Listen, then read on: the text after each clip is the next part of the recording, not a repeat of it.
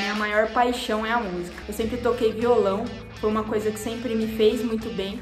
Eu sempre tive vontade de aprender a tocar cavaquinho. Esse ano eu tive a oportunidade de concretizar esse sonho e é uma coisa que tem me feito extremamente bem, principalmente porque agora eu posso tocar um sambinha pro meu pai. A minha paixão veio por aprender e sempre ter novos conhecimentos. E com isso, eu tive a ideia de criar um Instagram de Química para passar esse conhecimento para as pessoas. E hoje o Instagram é o que me dá gás, é o que me dá energia, é o que me faz é, aprender coisas novas e conhecer novas pessoas. A corrida é a minha grande paixão.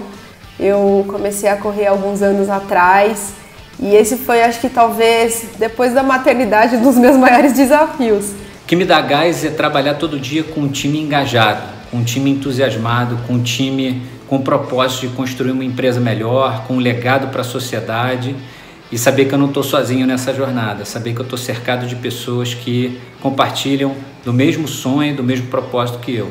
O que mais me inspira na Congás é o fato de que lá eu sou extremamente respeitada por quem eu sou, pela minha imagem, pelas coisas que eu penso, que eu acredito. Eu saí de lá, lá de trás, como uma estagiária, e aí veio o cargo de liderança, que só foi possível com a Congás me desafiando e eu preparada como protagonista da minha carreira para seguir esse caminho juntos. Nenhum dia é igual ao outro, então a gente está sempre aprendendo coisas novas, evoluindo e crescendo profissionalmente.